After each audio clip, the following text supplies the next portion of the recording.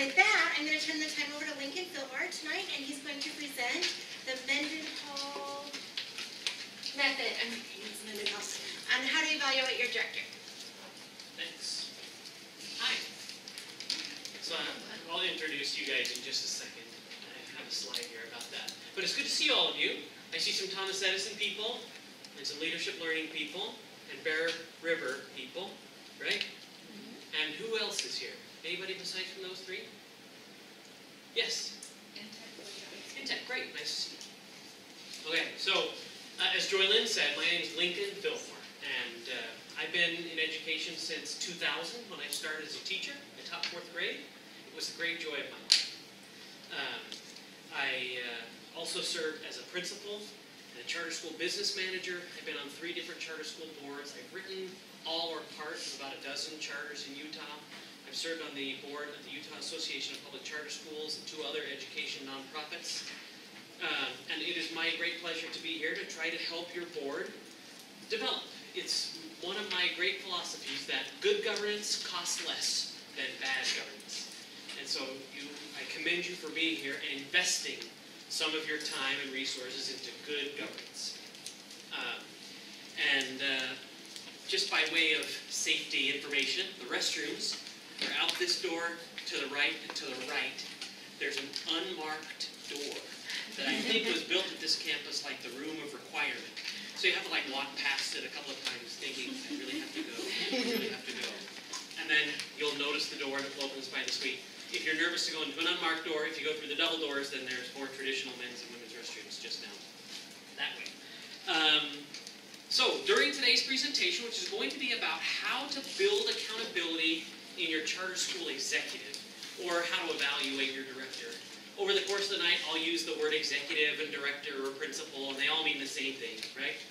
Um, and some of you may have different titles for that position at your school, but I mean the executive, the one who reports to the board. Uh, and if you have multiple campuses, then maybe you have multiple directors. But I'll also interchange pronouns, sometimes he, sometimes she. We've just got a wonderful mix all those things in charter schools. And uh, uh, so I'll be using both pronouns. As we go over today, what we're going to do is talk about how to build um, an accountability and evaluation structure at your school for your school's executive. We'll talk about how that's going to be necessarily different from what you hopefully already have in place to evaluate all the other staff members of your school. But an executive's evaluation must be different. I'll talk about why that is. I'll talk about what you have to have in place from the standpoint of policies, how you could build structures and calendars, um, data that you can use, what data not to get distracted by, some stuff that doesn't matter. And I hope to be able to provide you some really good, practical, usable knowledge that you can take away from here thinking, okay, I know how we can get started on doing this, or how we can tweak what we've already got in place, or give you confidence that what you're already doing is so awesome. So any one of those would be very good.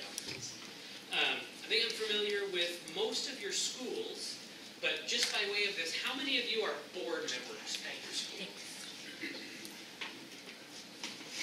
A bit of the majority. And how many of you are the executive the, or, or a principal?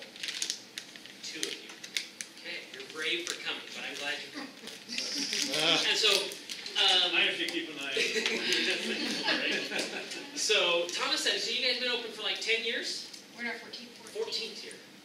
Apologize. And you, leadership learning, you're in your second year. And Bear River, five. Congratulations. And you're in 10. Okay? So we've got a nice wide mix of veterans and middles and newbies. That's great. And then how many of you here, especially that are board members, how many of you have a job where you get evaluated? Yes? And are any of you executives at the job where you get evaluated? Okay, fine. That just helps me know the audience just a tiny bit. I want to start by just making some blanket statements that I'm just going to accept as truth, right? These are the principles that I'm just going to insist that we agree on. Although, if you have argument with me, we can engage in that for just a minute. But I hope that nothing that's on the board here is going to be controversial. This is uh, kind of the foundation on which we need to build. That is that all employees should be evaluated every year. And so I own a company, I have like fifteen people who work for me, and uh, it sometimes is hard to get to those kinds of things. And those of you that are school principals, or if you're ever in charge, you know, evaluating an employee is not necessarily the fire that's burning all the time, right? But if it doesn't happen, then employees tend to get uh, demotivated. They don't get the feedback they need to improve. So we'll just say that every employee ought to be evaluated every year, and that those evaluations ought to be based on criteria that everybody knows in advance, right? If I'm an employee, I should know what I'm going to be measured on, so that I know what kinds of things I can achieve in order to get positive. And that that criteria should be easily measurable, right? That it's, it can't just be somebody's whim, but it ought to be something that you can actually look at, that everybody can look at the same set of information and agree that this information means something, and that that has a universal meaning to everybody, and that that criteria needs to be consistent with your school's mission. That if you're a whole child, the child project school versus the direct instruction school, that those are going to be different data points, and that's fine. Make sure that as a board that you're picking criteria that are relevant to your mission, and not necessarily relevant to the state charter school board. Does that make sense? Not that I'm telling you to ignore your authorizer, but I just want you to make sure that you are focusing on your mission and that your evaluations help to further the accomplishment of your mission by making sure that the data that you collect is good with that. Can everybody see this board, or do we need to turn some lights down? See thumbs up. And nods, great. Okay, so, uh, here's a question, I hope that you guys will participate. I did this uh, presentation a couple weeks ago in West Valley City, those Salt Lake people, too urban. They are just scared to participate. We've got kind of a smaller, more rural group today, that's awesome, you guys are friendly, I'm gonna ask questions, and I'm gonna do the teacher thing where you ask a question, and you get the nice seven-second uncomfortable pause, to make so that everybody can get over their anxiety about speaking up. So this is a good question for both directors or board members. Uh, how should the school director evaluate teachers in the performance of their job? And keep those four principles in mind that were on that previous slide. How should the director go about doing that? Yes, sir. evaluate learning outcomes, progress Okay. on learning outcomes. Good. So you're look, you're pointing to something that's very good that is measurable, right? That there's some outcome that everybody can see at the end that knows here's some, you know, we've done some assessment that the students have achieved at this level. Very good. So it's going to be based on the outcomes of what they get inside their classroom. What other aspects would you find to a good teacher evaluation? It really needs to be observable. Good.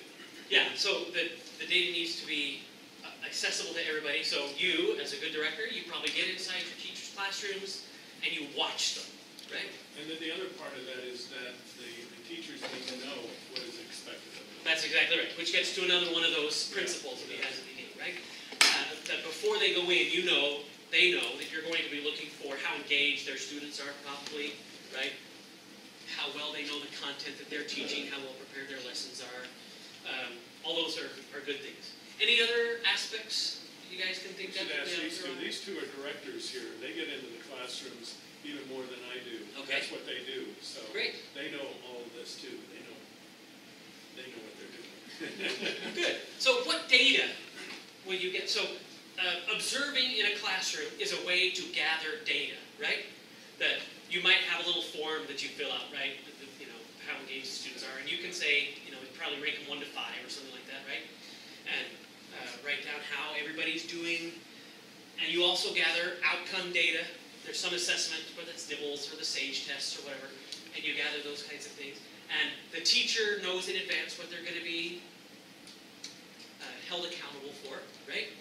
And how does this compare, those of you who have jobs that are evaluated, how does that compare with how you're evaluated in your job? I'll tell a little story about mine. When I was got the job, I was out here, I was going to college, and I say out here, I'm wearing blue because I know I'm in true blue country. Um, but I went to school at a different university, which where I would be wearing red. Um, so I was working downtown, like the ZCMI Center. The mall's not there anymore, but they we had like a five-page customer service thing, right? Where you do a self-assessment, and Do many of you do a self-assessment as part of your own evaluation, right? And your teachers probably do too, that's great. So it was really long and had a rank of one to five. And Do I sincerely thank every customer? And I would rank myself on how that went. And do I count back change starting from here? And you know, say, okay, so that was 850, so here's 50 that makes 9, and 1 is 10, right? And I would rate myself on how well I did that. So it's very minute and detailed. And then I go in and talk to my supervisor, who would probably watch me a little bit like that. Is that similar to something that you guys do? So you guys do a self-assessment? We do, but, but we, we do it in a way where it's, it's very interactive. Mhm. So the, it, it's not that they, they, they fill out the form, although they can, they can fill it out ahead of time, but when they meet with us, we just go over it, and we have a discussion about each one of those. Okay. And we ask them then to rank themselves, rate themselves. Good. Okay. So what we're talking about here are some principles that we've got in place that are going to be universal. We're also going to apply to how you ought to structure uh, an evaluation program for your executive. But the specifics of those are going to be very different, right? So you deviate from that when you're uh, evaluating your director. That is, the principles are the same. Known criteria, they got to be relevant, measurable, but the process has to be different for some very important reasons. And one of those is, I think the most important of those is, that your director is not, or ought not to be, held accountable to a five-page job description. Because while the director is accountable for everything that goes on in the school, he is not responsible to carry out everything that goes on in the school. Does that make sense? Your director is accountable for the performance of everyone under him or her. On that side, he has the authority to delegate tasks to anybody, right? So if your director is responsible for public relations and insurance and financing and enrollment and all of these things, it's way more than one person could do. So what's a mark of a good director or a good executive is someone who will hire capable and quality team to help carry that out and then be held accountable for those results, right? But because of that, it's very difficult to have the five-page thing that says, oh, I count back my change to everybody, or I sincerely thank all of the parents, right? It's very possible that a good charter school executive has very little interaction with parents, right?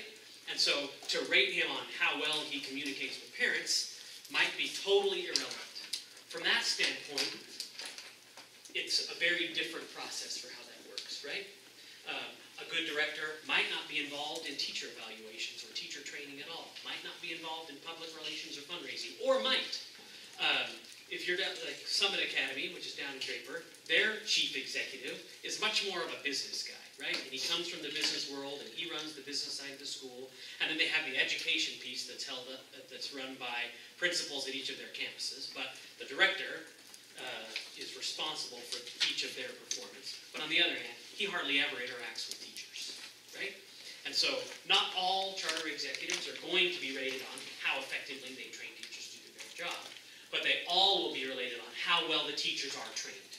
And does that distinction make a difference, make, make sense to you guys? Okay? So he can't delegate accountability because he is accountable for the performance of others. But from another standpoint, your director is usually not supervised on a day-to-day basis, right? And if he is, I'd say you have a problem with board governance, which we ought to address at some future time. But it should not be the practice, that the board is in, you know, hey, today's the day we're gonna come in with our clipboards and we're gonna follow the director around and make sure that he's smiling when he interacts with the students and all that stuff, right? Because the director operates at a distance from those to whom he's held accountable. And so from that standpoint, there's not a lot of direct observation that can take place. And finally, the director ought to have a lot of autonomy in how he gets things done. Okay, so because of all of those differences, it's going to be much different. You're not going to have a multi-page job description, um, and we'll talk a, a lot more about how it ought to work.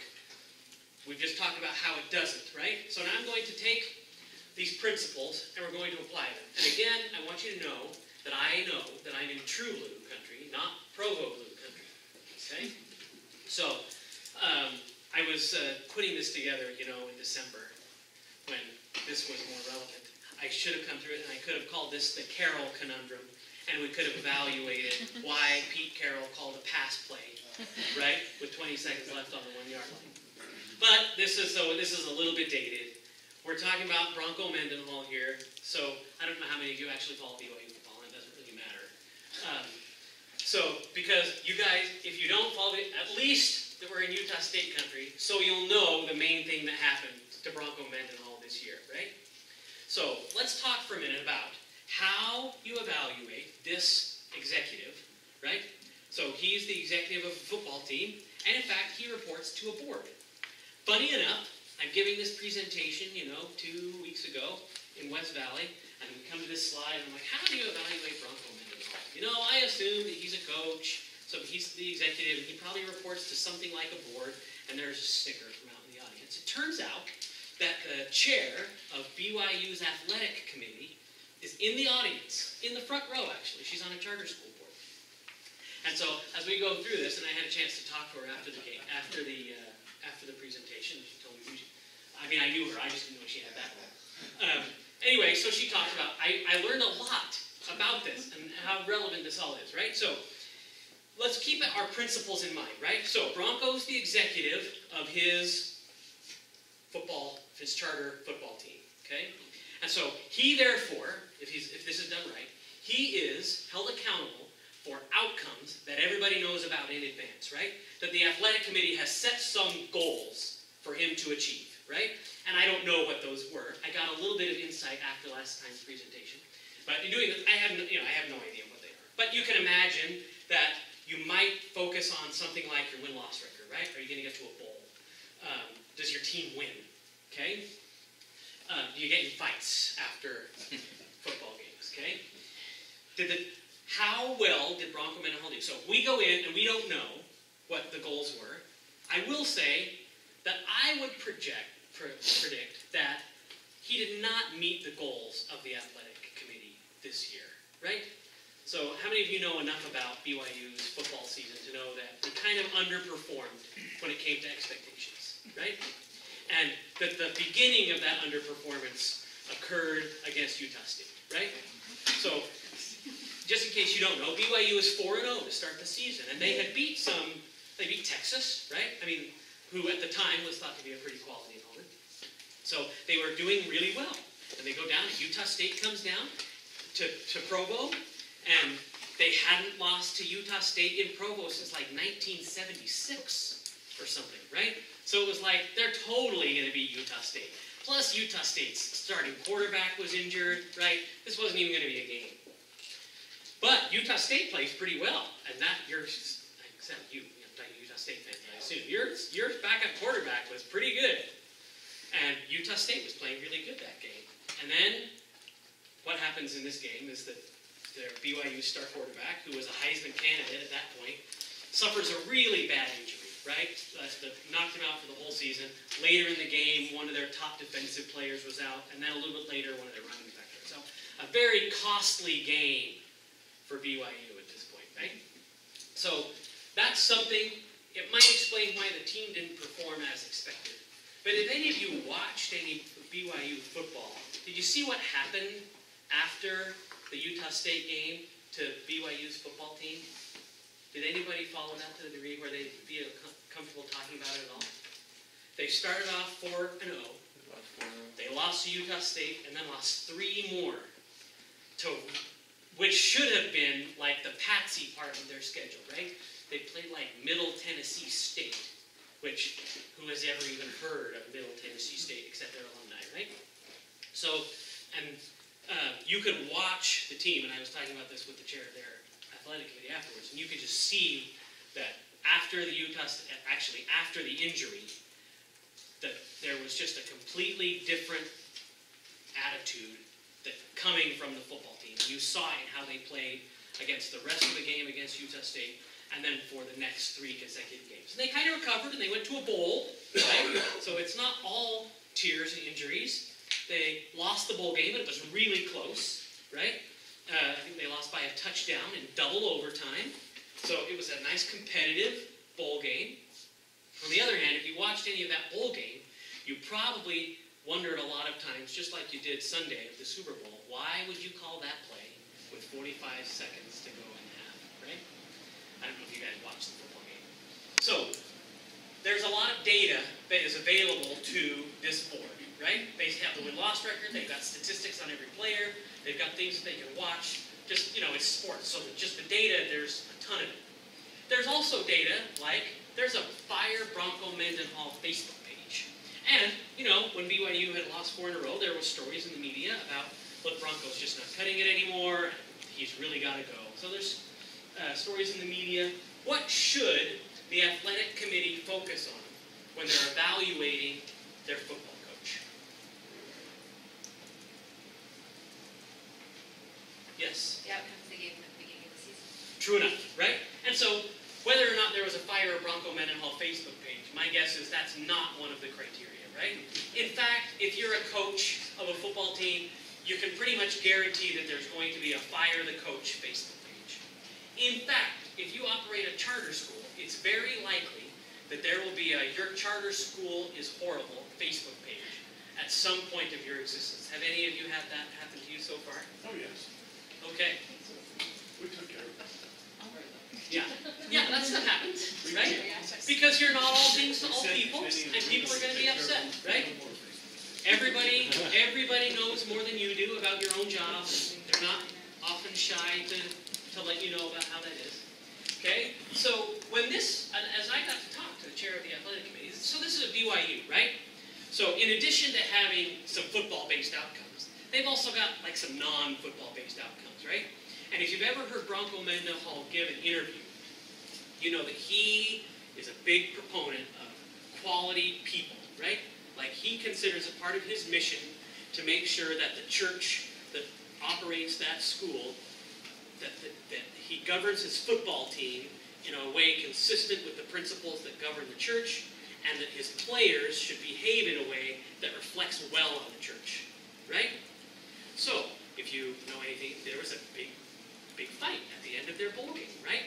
And so, any of you were watching, you saw on national TV that like this BYU player just ran up, and this is what they caught on TV, right?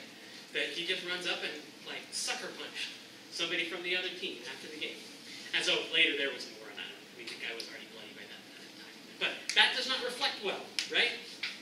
How many of you have a character component as part of your charter? Yes?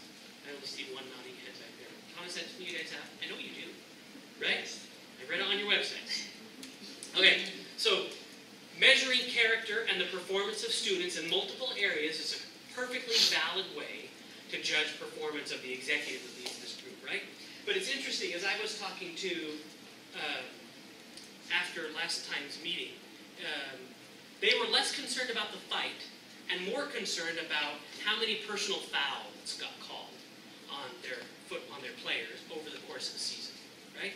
And actually, there were a fair number, if you watch that. So, this is just kind of illustrating this as an example that you need to apply those principles, right? That if you're a football coach, you need to know in advance what's expected of you. However, Bronco didn't make those, and part of the reason that he didn't meet those goals, I'm assuming, is because of events that were outside of his control, right? As a board, you're going to need to keep those kinds of things in mind, which is one reason why it's important to have an interactive evaluation process, right? Like you, Steve, earlier talked about what you do with your teachers, right?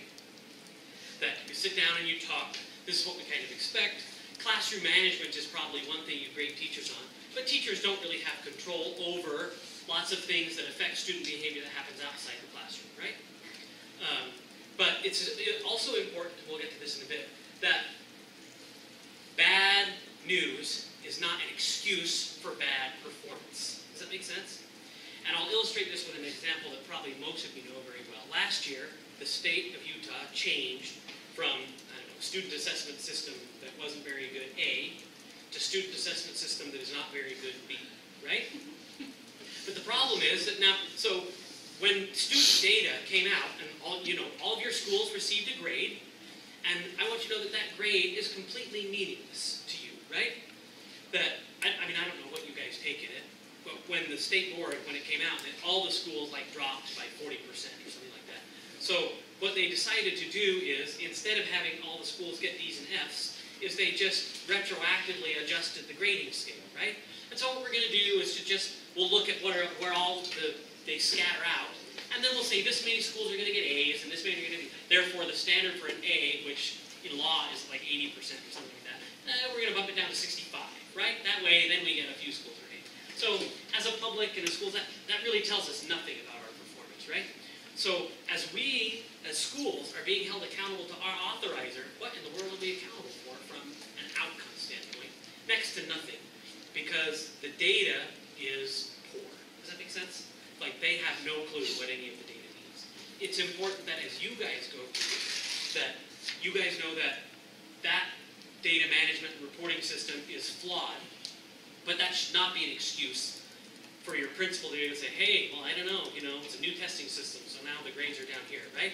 Bad news, things that happen outside of your control is not an excuse for bad performance. We'll talk about that in a bit as we go over this. It would be pretty easy for Bronco to say, we ended up eight before because three of our best players were injured. And, well, that's all here and there. But the truth is, if you watch BYU play, you saw some examples where there was real weaknesses in the coaching staff because their team was completely unprepared to deal with injury to good players. And you saw that how they played on the field. And you saw that in their attitude that they brought to the field. And I'm not really even that much of a football fan, but I could just tell by watching. I'd also like to point out that my wife and her sister and her mother all went to Utah State. okay. So, um, from an accountability standpoint, this gets back into one reason why directors' evaluations are different than others. That the school's performance equals the director's right? They are, in fact, or ought to be, one and the same. Especially if you have a good, strong director who is who has autonomy and accountability for the performance of the team that he surrounds himself with, right? He ought to have the ability to hire and fire teachers, to hire and fire the people that help him, um, to interact with the media, and to choose people who do all of those jobs. And when he does, then he can be held accountable for the performance of the school as a whole. So the real judge your director's effectiveness is how well is the school meeting the goals that we have set for the school. From that standpoint, the first thing I need you to take away, uh, besides the principles from how to structure this is when you're setting director evaluation goals, you set them as school achievement goals, right? We expect our school to achieve this level of student achievement, and this level of enrollment, and this level of parent satisfaction, and this level of compliance with the law, this level of charter implementation, this level of financial sustainability, or whatever your goals are, right? Uh, it's important that you set those, and that once you set those goals, that your director's evaluation is basically these three things. This is your director's job description, right? Your director is accountable to achieve your goals within your budget and following all applicable rules. Does that make sense?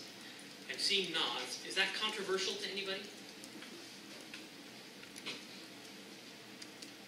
Okay.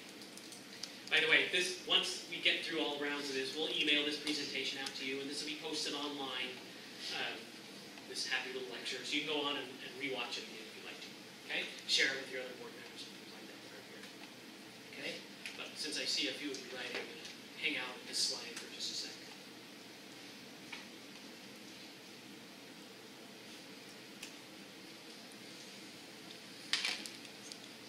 Okay, so that's kind of the, that's our starting point, right? We've got the principles in place, so we know uh, what we're going to measure. We know what we kind of need to have in advance. We have to have known criteria. We have to have some way to reliably measure that data, right? And so, if you're a state charter board, uh, or if you're a school, a charter school board here in Utah, you might have said, well, we're not going to use SAGE scores this year because they're not very informative to us about how well our school is actually performing. But you need some sort of reliable data that's meaningful for everybody and you all know what it means, okay? That you need to have an established timeline for when you're going to collect this data, when you're going to review it, when you're going to hold the director accountable for it, and that that timeline ought to be gradual and occur regularly throughout the year so that as a board you get to see trends and not just snapshots, right? And that you need to have policies in place that govern not only the evaluation process, but also things like a discipline policy so that you can get, gauge whether or not your director is complying with the rules that you establish for him, right? Just to kind of sidestep for just a minute, the definition of board governance is essentially setting the goals to be achieved and setting the parameters by which your executive can achieve it, right? From that standpoint, you need to have policies that govern his behavior, right? There are some things that your, there are some methods that your director can't use in order to do things. And a good silly example is spanking, right? Like, it's good, you, it's perfectly okay to say, director, you need to make sure that students are well behaved in class, and that's on you. But you may not allow the teachers to spank the kids in order to achieve that goal, right? So that if there is ever spanking at the school, then your director has violated his job description. Because even if he has met the goal of very good student behavior, he has violated the method by doing something that is in conflict with one of the rules that applies in that circumstance. Okay? So you need to have a book of policies. If you don't already have a policy manual for it, and this is pretty common for new schools if you don't have one, you should work to develop one, and the association has samples and things like that that are available, and state has a lot of templates. There'll be resources that we talk about at the end of this. Okay, but those are the things you need to have in advance. If these aren't in place, then what you're going to do is be evaluating your director based on the completion of certain tasks instead of the achievement of goals. Okay, and that's going to be a problem. Um, you shouldn't be evaluating your director on any interactions for several reasons, one of which goes back to what we talked about before. As a board, you just have such a limited way to observe those kind of daily things that your director does. And the, the ones that you hear about are going to be an unreliable sample, right? You, as a board, you're likely to hear complaints, but for the most part, you ought to ignore those complaints in evaluating because they're not representative of what actually goes on. But I'll talk about an exception to that as we go, okay? Here are the things that you don't need. That again is kind of restating a little bit of what I talked about earlier, but you don't need, you will need, you probably do use all of these for your other employees at the school, but you do not need them for your director, right? And I'm not going to read everything that's up there, but certainly you want to base this on data and not your emotions or your feelings. From that standpoint, I'd like to talk just briefly about a conflict that almost every board member has in Utah charter schools, and that is you're also the parent of somebody who attends the school. And as a board member, you cannot be evaluating your director based on the experience of your student, right? It needs to be based on criteria that's known in advance with measurable and reliable data that's set on an established timeline, okay? Um, a mistake that I see happen in a lot of charter schools that I work with, consult with about 20 throughout the state, is that I see boards try to put in place systems that are similar to what they have at their own job or what the school already has for their teachers. And that's a mistake. The director's job is just too different from that. The responsibilities and accountability ought to be different. so let's talk uh, about data. Um, there actually is kind of a challenge in collecting good data about the school director. Um, Part of that is because no board member is the director's immediate supervisor, right? You don't have the daily interactions that even when a school principal is not observing the same teacher every day, still, he's walking up and down the hallways, he sees the teacher's class walk up and down the hallways. As a principal, you have almost daily interaction with what goes on in almost every teacher's classroom, right? You're dealing with all kinds of things, reports, injured students, phone calls home, walks up and down the hallway. Um, all of those things give the director a lot of data that he can put everything else in context. And as a board, you just don't have that regarding the school director. So you're also not really a supervisor, so you don't gather data. This is where you get the, your data from, right? And almost is self-reported by the director. And I said that as a blanket statement, and I'd be happy if any of you corrected me about that. But for the most part, as a board, I'm going to just guess about this, and you raise your hand if you disagree or it's not true at your school. You're collecting data about the school, but most of that data is presented to you by the guy you're evaluating on the outcomes of that data, right? At your board meeting, it'll say, okay, we're going to get a report on our academic progress so far over the course of the year. And your director or somebody that reports to the director will stand up and say, this is how our students did on the DIBELS test, or this is how we did on Sage, or this is how our parent survey went. Almost all of it is reported by the guy you're evaluating, okay? So we're going to talk about um, ways to manage that, to kind of remove the conflicts, things like that. Uh, you can also get third party review. This you always do in your annual audit, right? That's a third party who's coming in and evaluating what goes on at your school and then giving a report directly to the board about what they found. But auditors aren't the only ones you can use. Lots of schools will use outside consultants who will come in, do focus groups and things like that, that uh, can help give the board kind of an outsider's perspective on how things are going. And then some schools, in fact, good ones, have some limited direct inspection by the board. And I'll talk about how that. But these are the three methods that you can collect data. And it's important to use all three methods. Um, but logistically, do any of you use self-reporting not as often as I had said earlier? Like most of the time, the data that you get as a board comes from your director, isn't that right?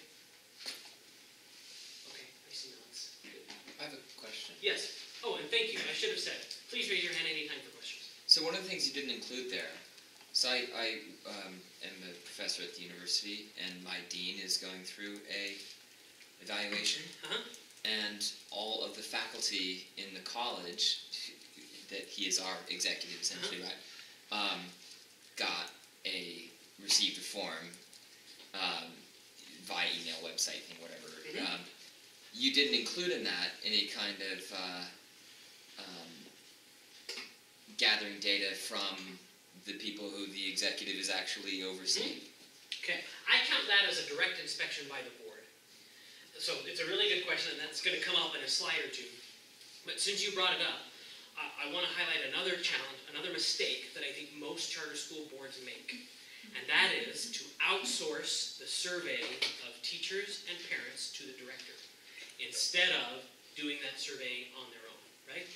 That the, the results of that data can be very informative for the director, but primarily they exist to let the board know how the school is doing. So I always suggest that boards be the driving force behind the survey of parents and teachers so you can collect that data. So that's one of those things that I count as direct inspection. Okay? Is that controversial to anybody? If it is controversial, we'll talk about it in more detail in just a minute. I'll give you some reasons why they're based on example. Okay? So I talked about it's important to get data from a variety of sources. So to your point, Professor, and I'm sorry I don't remember your first name, but Harrison. Harrison. So you should get data from lots of places using all three methods, right? Outside parties who look at surveys of your parents and teachers, academic data, um, complaints, formal complaints that you guys receive as a board, which I'll talk about in just a bit, right? And that data needs to cover all the aspects of the goals, plans, and budgets that are those ones that are known in advance and to which your director will be held accountable to, right? That's not to say every policy, every goal, right?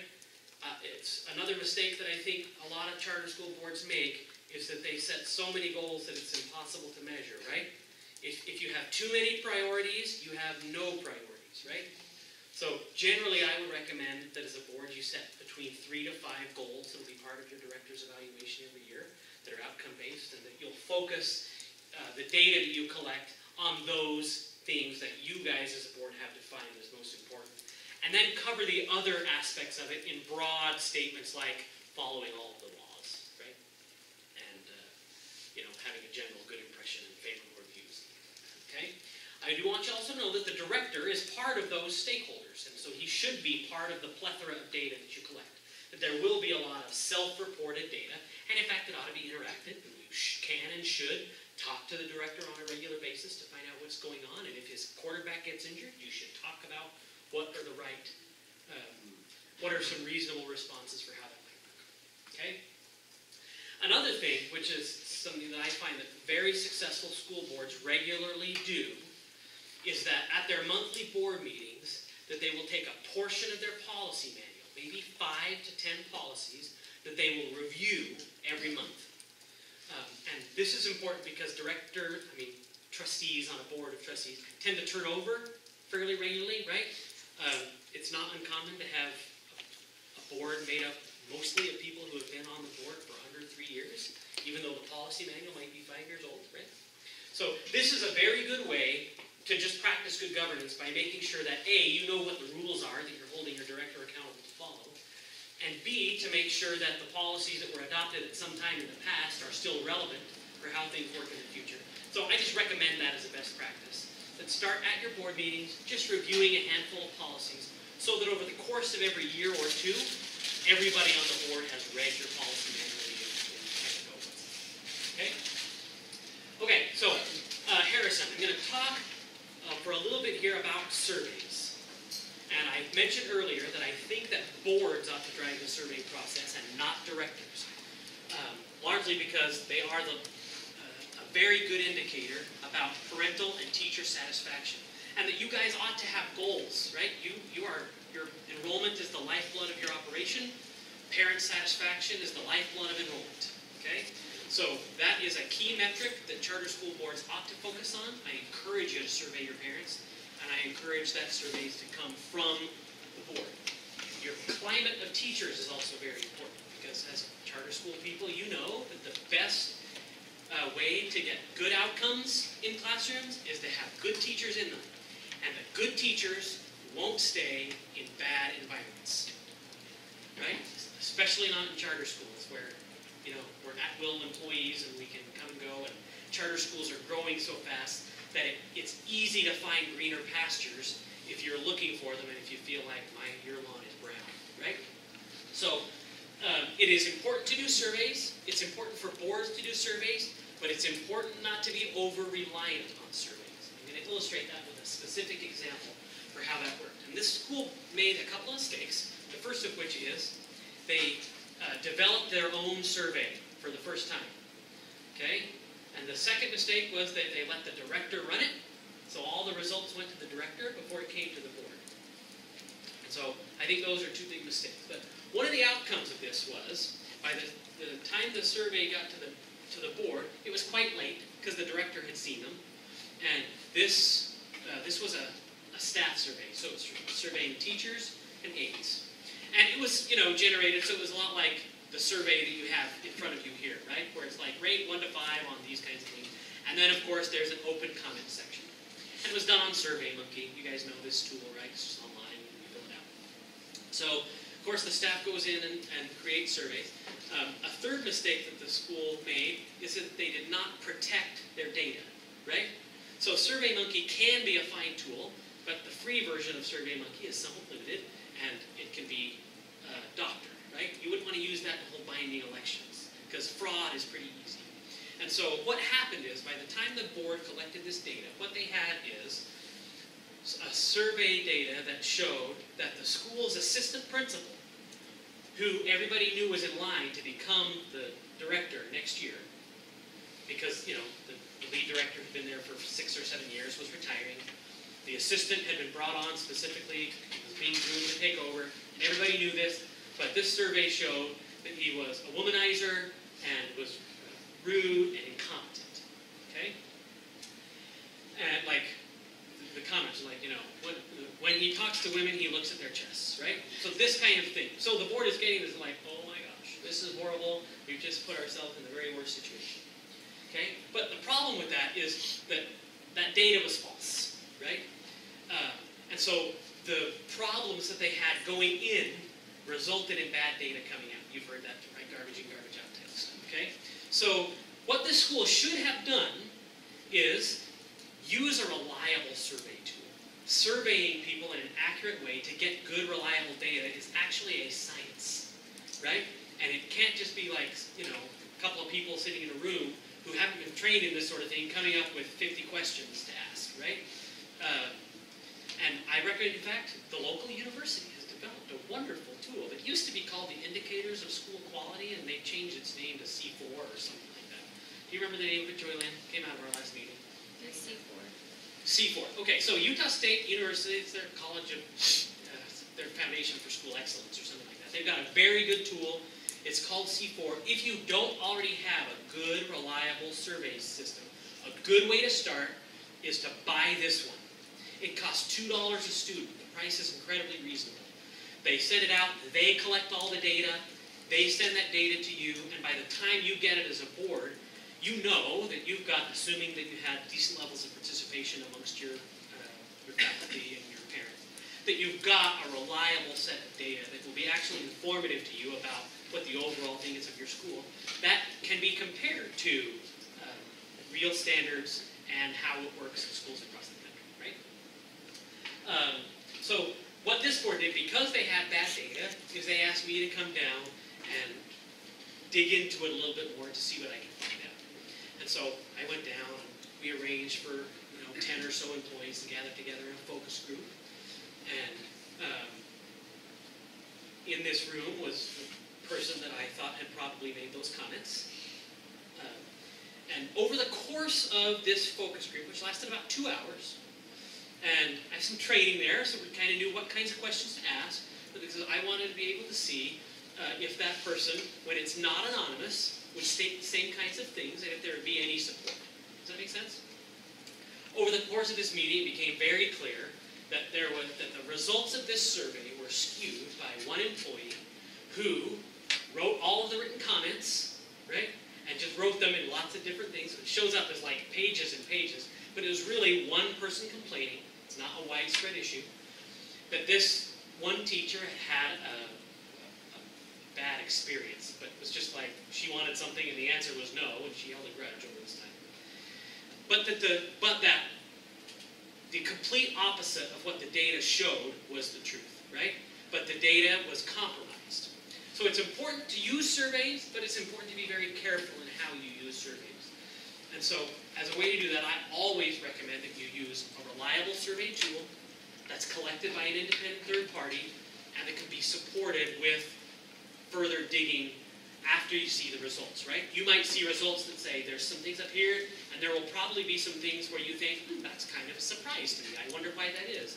That it can be very useful for you to bring in somebody who can do a small focus group and try to dig into those kinds of things. And all of that is really inexpensive. The survey is inexpensive. A two-hour focus group is pretty inexpensive. Um, and the association will often pay for stuff like that because they got a grant to do it now. It's great. Um, be careful about surveys because if you do them wrong, they'll give you bad information, which will lead to bad decisions on, your part. Are there any questions about that? Or have any of you guys had bad experiences with surveys or good experiences with surveys that you'd like to share here for the benefit of the group?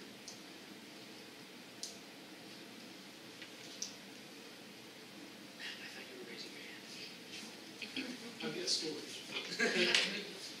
All right, so let's talk about a little bit about verifying the data that you get, right? I mentioned one thing earlier is that it's a problem in collecting data because you're collecting almost all of the data that you use directly from the person who's being evaluated based on that data, right?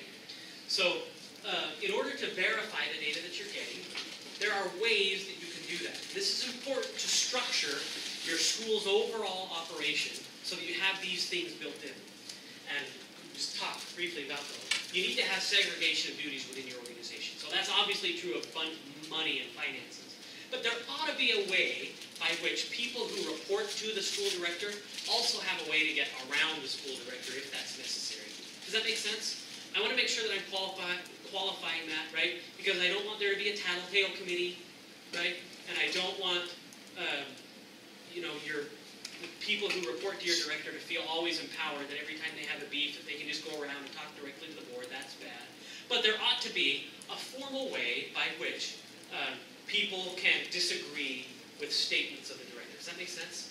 That if the director is coming up hey, things are going roses, look at our at our trend and it's going way up like that, you ought to be able to have that verifiable by other folks at the school. Right? Uh, so that's why I talk about here when I say direct lines of communication. And you should also always ask that your director provide you the supporting evidence that back up claims. So lots of times there will be that sort of thing, right? So if you're um, using DIBELS or something like that as one of your assessments, that DIBELS is a regular thing, and that data is probably collected by somebody other than the director, even if the director presents it to you, that there ought to be some backup for what he's saying, right? If he's saying 80% of our kids are reading a benchmark, and look at the growth, you ought to be able to have some background that can verify for you as a board that that's true, and that your director is not just standing up and saying what will make himself look good, right? So, good directors, and for those of you that are directors in the room, you should never be offended when your board says, that's great news.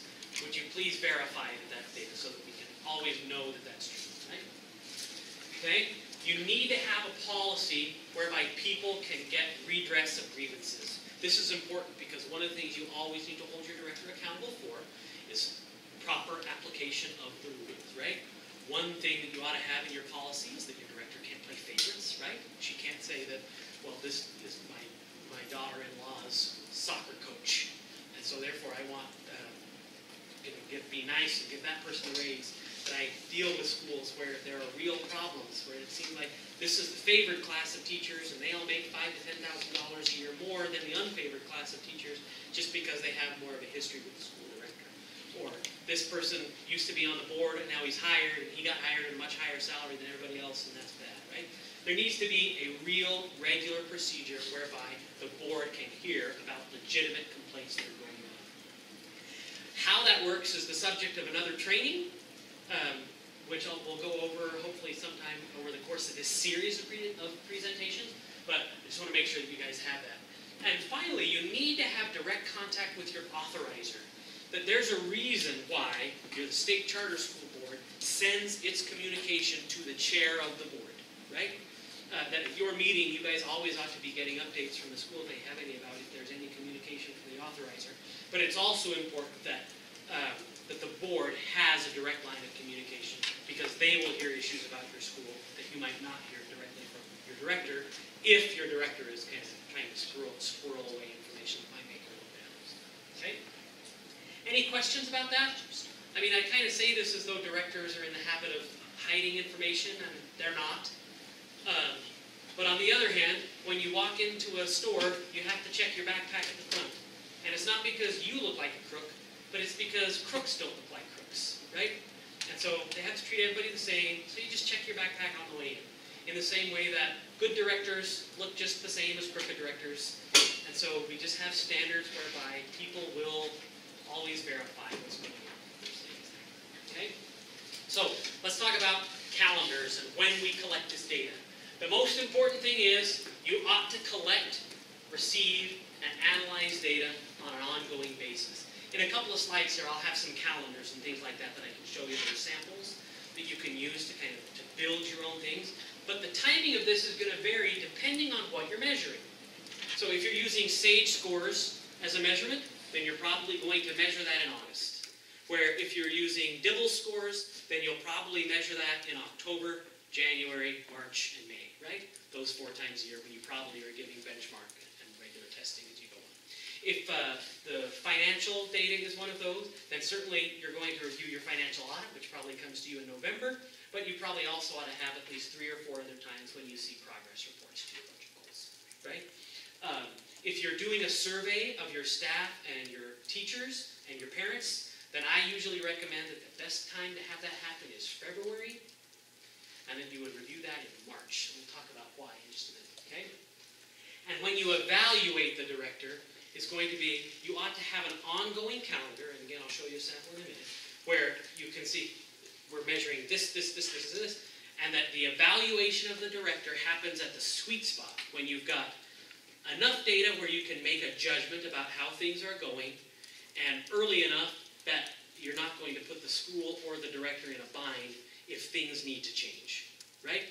That is, if you wait until July or August to perform that evaluation, then you're pretty much stuck with either a rotten, and your director was rotten, right? So we've got a poor director, but we didn't really evaluate him until July or August. We're either going to be stuck with him for the rest of the year, or we're going to have to go through the turmoil of changing out the director right when school is getting ready to start or has already started. I think the best sweet spots for this is usually March and April to perform your director evaluations, to make the judgment about if you want to retain that person or give him a bonus or make your judgment about his or her performance at that point, make your decision about retention or bonus or whatever at that point, and then continue the evaluation process, which ought to be ongoing over the course of the, of the full year. Does that make sense? You'll collect more data about last year's performance after you've already decided, but really there has to be a decision point at some, at some time. And I qualify that by saying that sometimes there are very negative circumstances that require immediate action, but in the absence of those, if you're looking at the outcome of the school based in relation to those goals, you and everybody will be better off if you have a regular and systematized way to do that that everybody knows about. Okay? So, for example, here's uh, one of those simple calendars. And so this is a kind of a, a board check on things where you review how is doing in certain policies, right? What's the financial condition of the school? How are students being treated? And so it talks about how we measure these kinds of things, how often and when.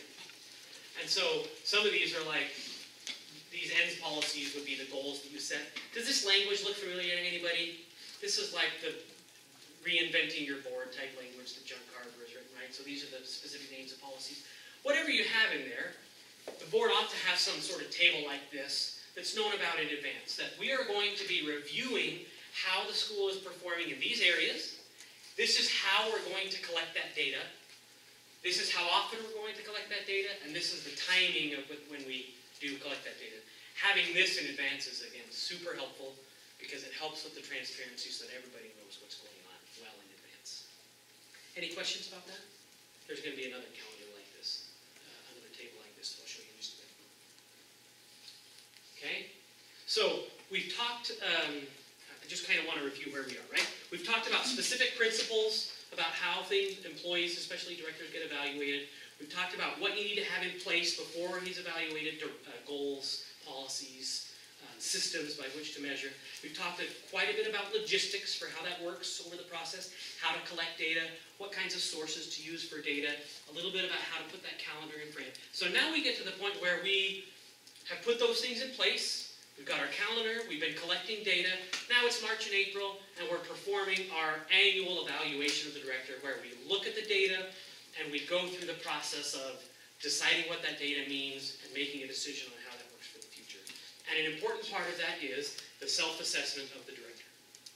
Okay? So if you are the athletic committee of a football team, you would ask the coach to write about how did the season go for you. And he would probably come up with something, I lost my top quarterback, and that was harmful for us. This is going to be the most informative document that you receive over the course of the entire year, right?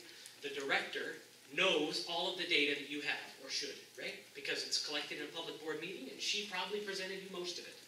So she knows all of that data that you've got. She knows how things are going, and because you had a good system set up in place beforehand, she knows what the standards are. She knows what the results are in relation to those standards.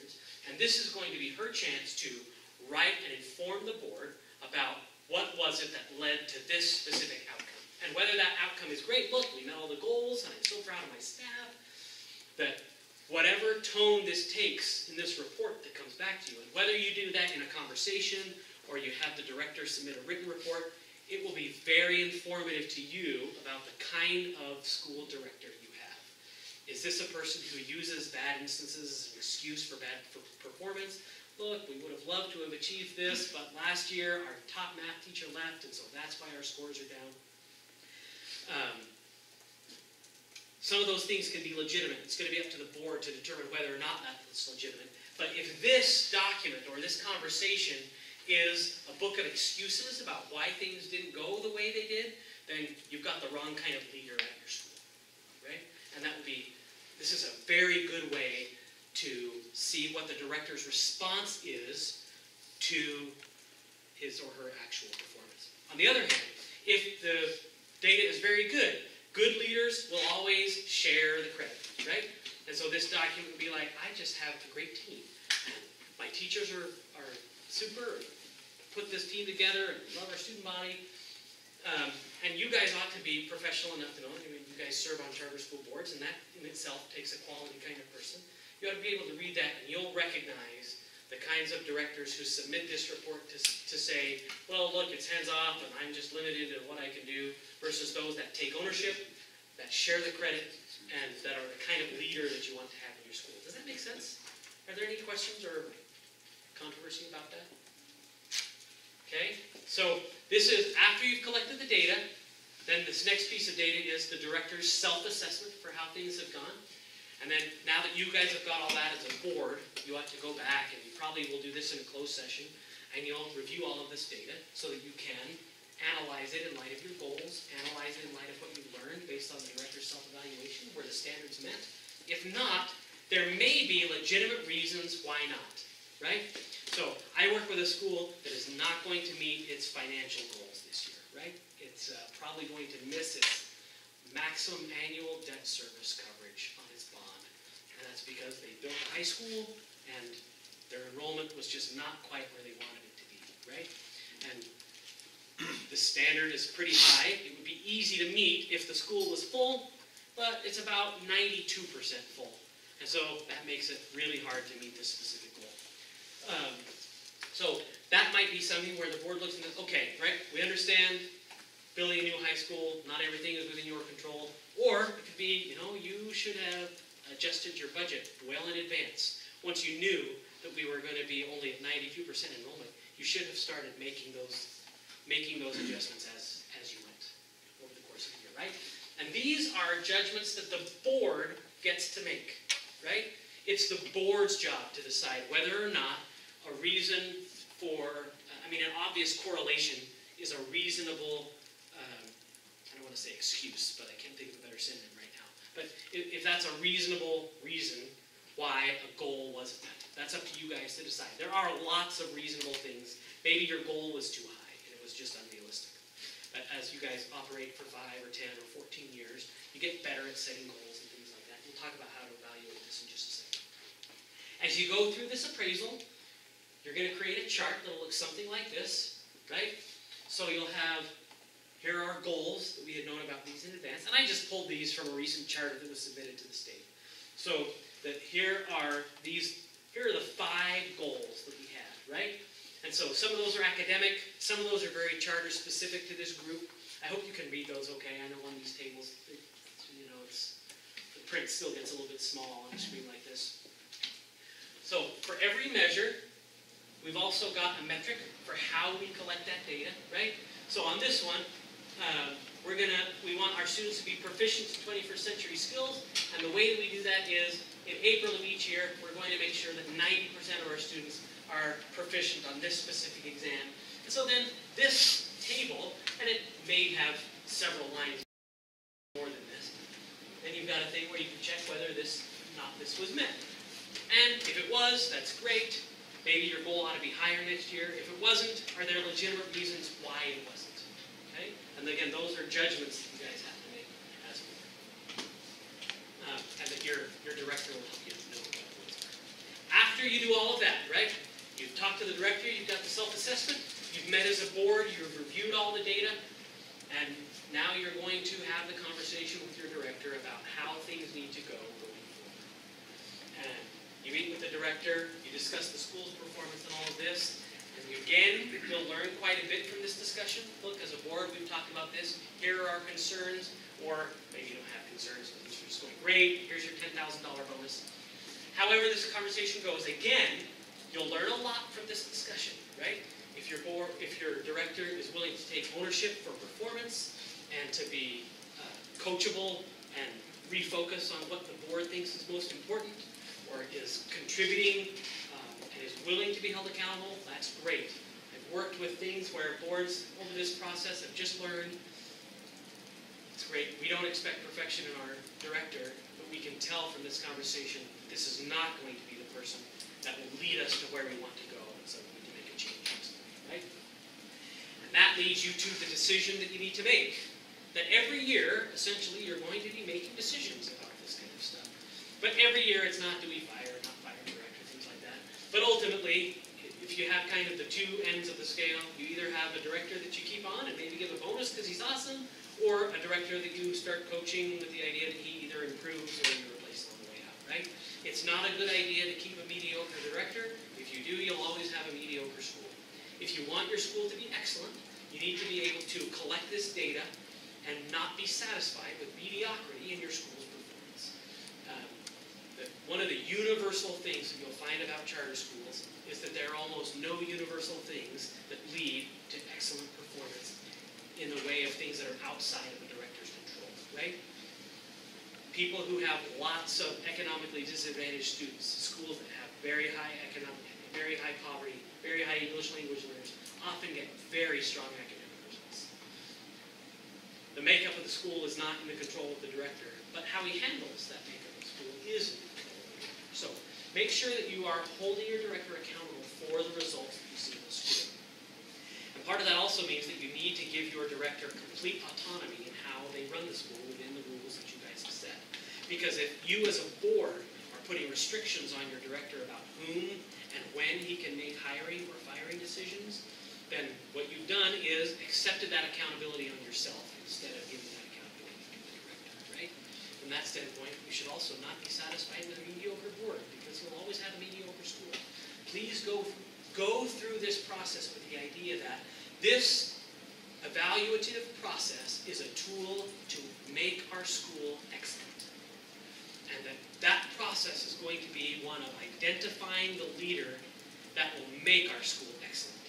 And this data will either show you that you do have that leader or you don't. And if you don't, then it will give you ways to coach that leader into being that kind of a person or let you know that you need to get that kind of a person. Does that make sense?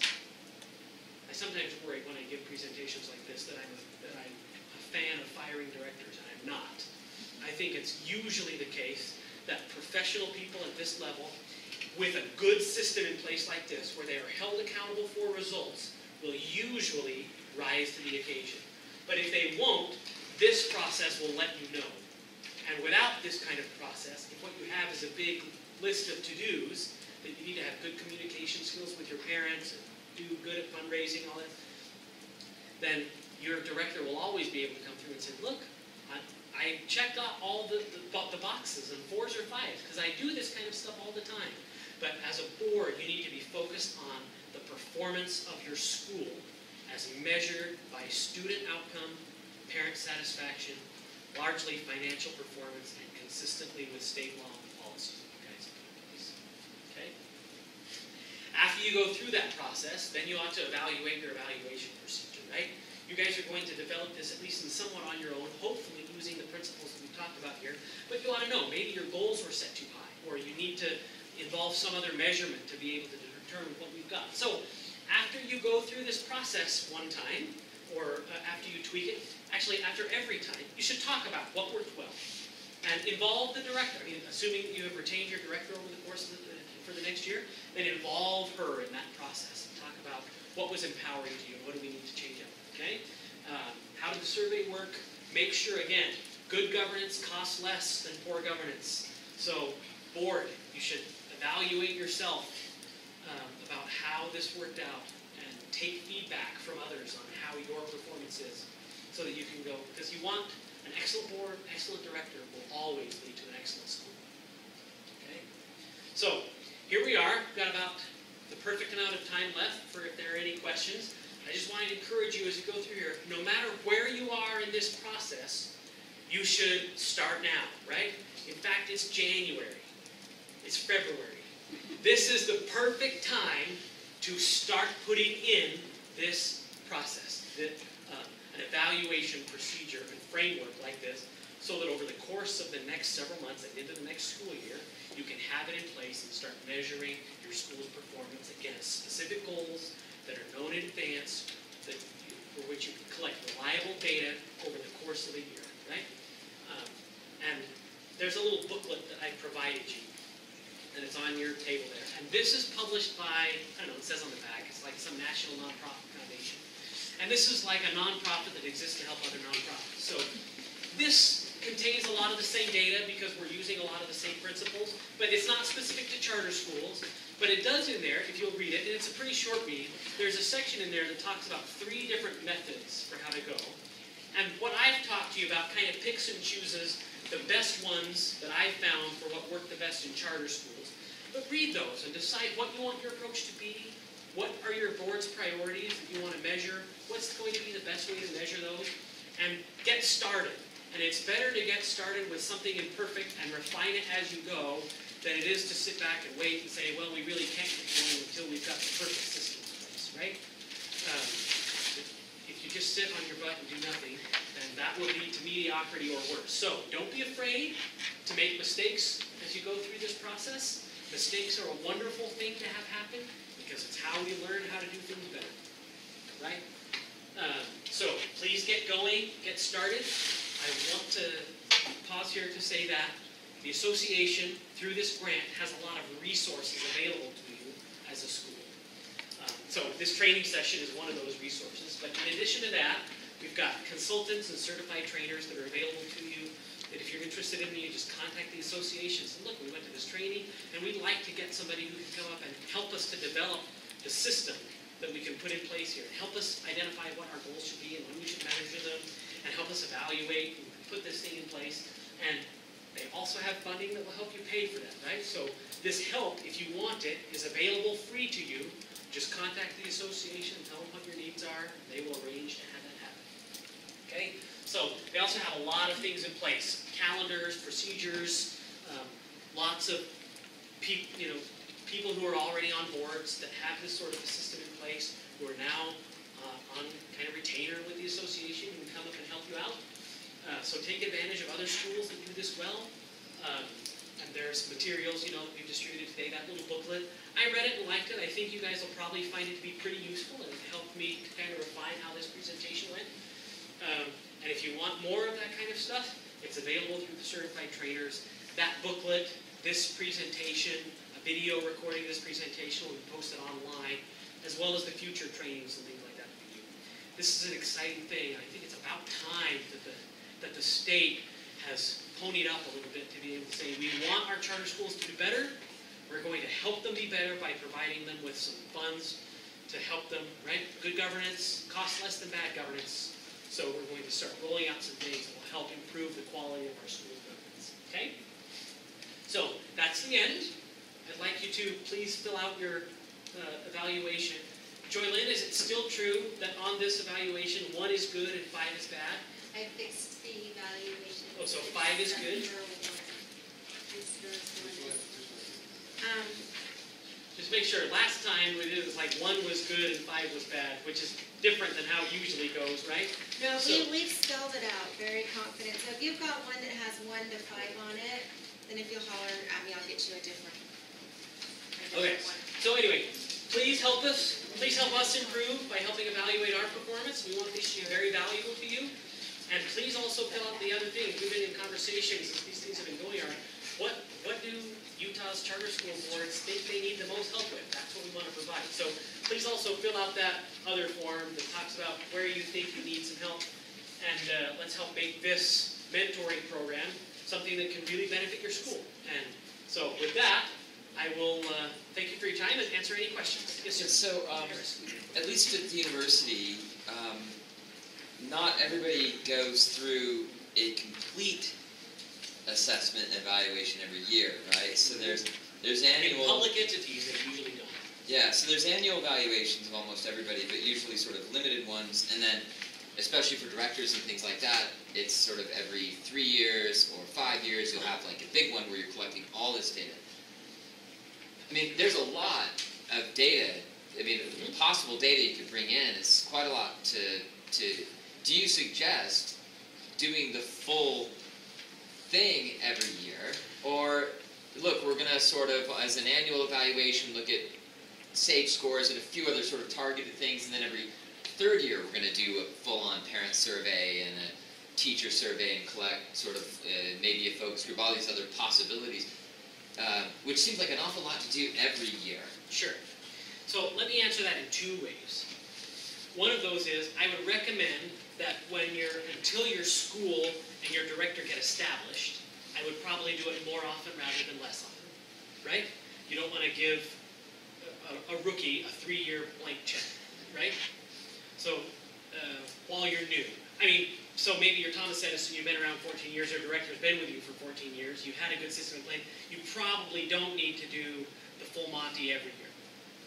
On the other hand, I'll say what I presented isn't quite the full Monty, right? I've suggested that you pick three to five goals that, that are the most important to your school every year.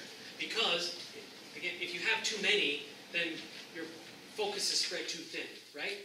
So uh, I think that it is a good idea for the board to set, um, to have a range of three to five goals that get the main part of your focus every year. And those don't need to change every year, right? Like one of those goals might be over the course of the next five years, we want to build from point A to point B, and so therefore we want to see at the end of each year what we're going to do is just measure the growth in relation to that, right?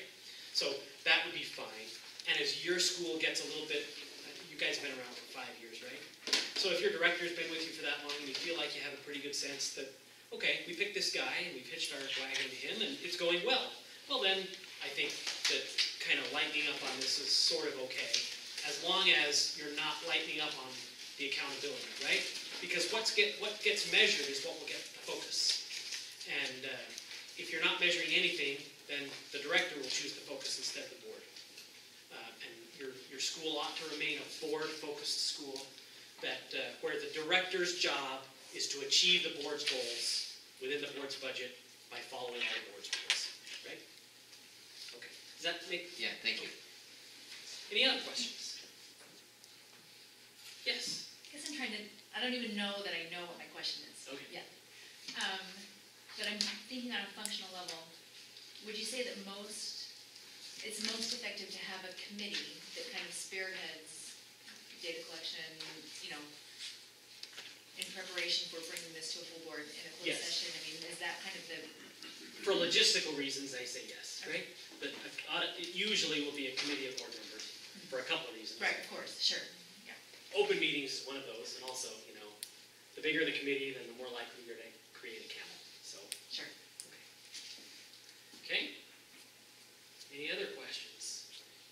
Great. How many of you were offended that I spent so much time talking about? So my brother and his wife teach at Utah State. So just like highlighting all my Logan connections up here. So I went to dinner with him. You I don't went to dinner with him before. like He's you like, you better be careful talking to these people about BYU Well, but it gave us an opportunity for Schadenfreude, because it was bad news about BYU. That's right. not a. That's exactly what I said, although I didn't say Schadenfreude. It doesn't matter, right? They won. Yes, sir. But anyway, he is the one who let me know the difference between true blue and Provo blue, which I previously.